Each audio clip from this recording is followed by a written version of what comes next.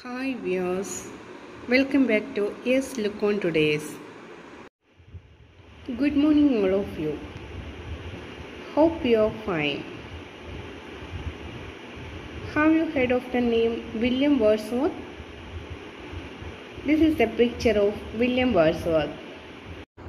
Okay, today let us go through the poem Lines written in early spring of 10th standard. It was written by William Wordsworth. He was a major English romantic poet. He was born on 7th April 1770 at England. Lyrical Ballads, a collection of poems written by William Wordsworth and Samuel Taylor Coleridge, made him a major figure in the literary circle. He became poet laureate in 1843. His famous works include Daffodils, Lucy Gray, Abbey, The Prelude, etc. In simple, ordinary language, Wordsworth presents nature as an antidote to the corrupting influences of society. He is known as the poet of nature. He died on 23 April 1850. Lines written in early spring. The poem throws light on the poet's attitude towards nature and human life.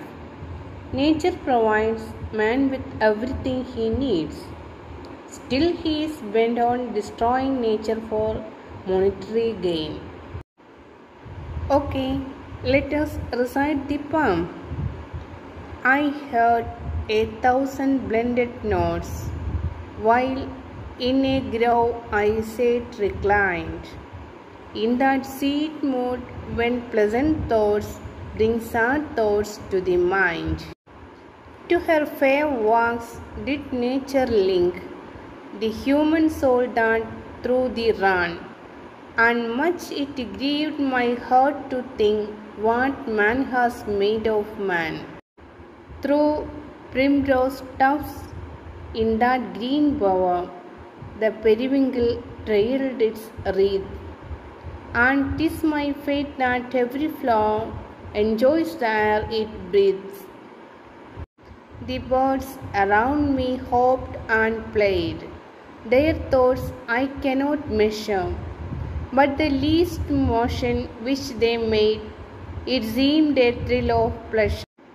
The budding ticks spread out their fan to catch the breezy air, and I must think, do all I can, that there was pleasure there.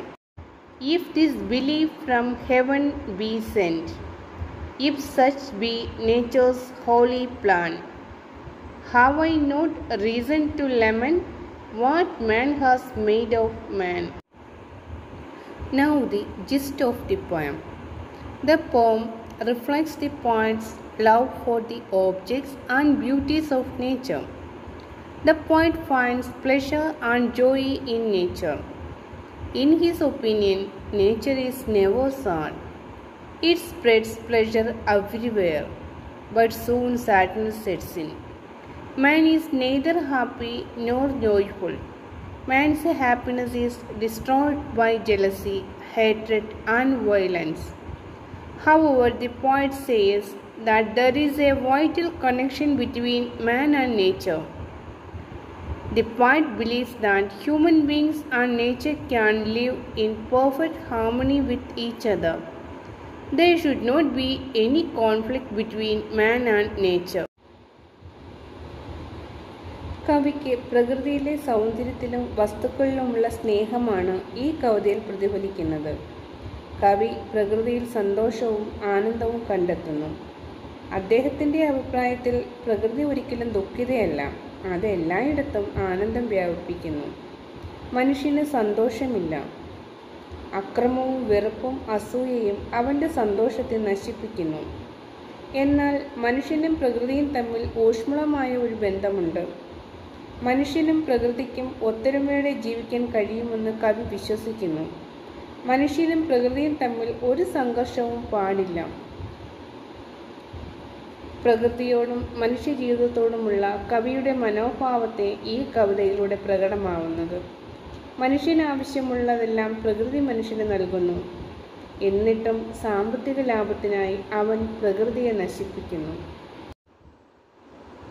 Okay. Now prepare a critical appreciation of the poem Lines Written in Early Spring by William Wordsworth. The poem shows the poet's attitude to nature. He finds pleasure and joy in nature.